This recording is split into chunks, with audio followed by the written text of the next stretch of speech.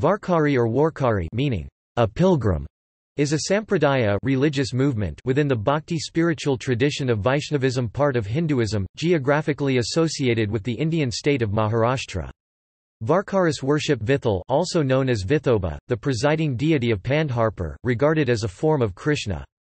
Saints and gurus of the bhakti movement associated with the Varkaris include Jnaneshwar, Namdev, Chokhamela, Eknath, and Tukaram, all of whom are accorded the title of Sant. The Varkari movement includes the worship Vithoba and a duty-based approach towards life emphasizing moral behavior and strict avoidance of alcohol and tobacco, the adoption of a strict lacto-vegetarian diet and fasting on Ekadashi day twice a month, self-restraint brahmacharya during student life, equality and humanity for all rejecting discrimination based on the caste system or wealth, the reading of Hindu texts, the recitation of the Haripath every day and the regular practice of bhajan and kirtan.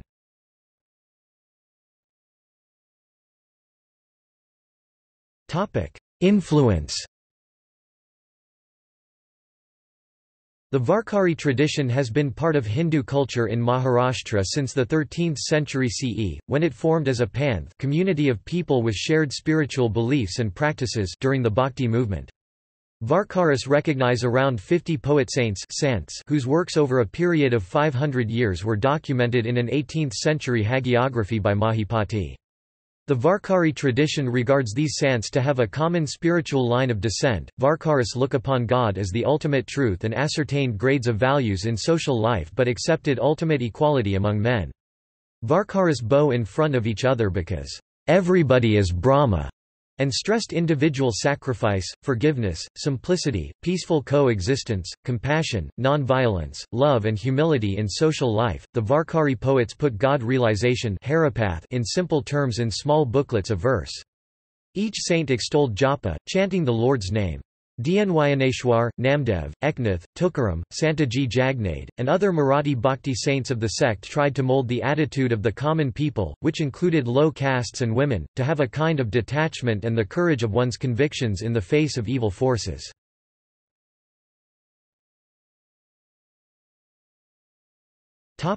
Pilgrimages Varkari people undertake an annual pilgrimage Vari to Pandharpur, gathering there on Ekadashi the 11th day of the Hindu lunar calendar month of Ashada, corresponding to a date falling sometime between late June to July in the Gregorian calendar. Pilgrims carry palki of the saints from their places of samadhi enlightenment or spiritual birth.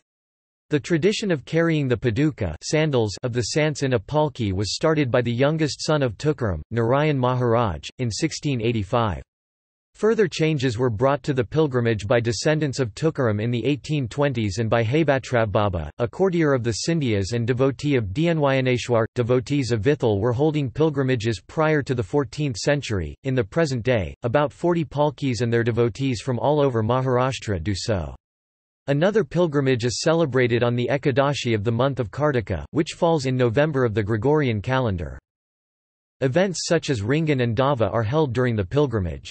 During the Ringan, an unmounted sacred horse called Malancha Ashva, who is believed to be the soul of the saint whose idol is being carried in the litter, runs through the rows of pilgrims, who try catching the dust particles kicked off and smear their head with the same. Dava is another kind of race where everyone wins and it is held to commemorate the manner in which Tukaram first saw the temple at Pandharpur and started running in sheer exhilaration.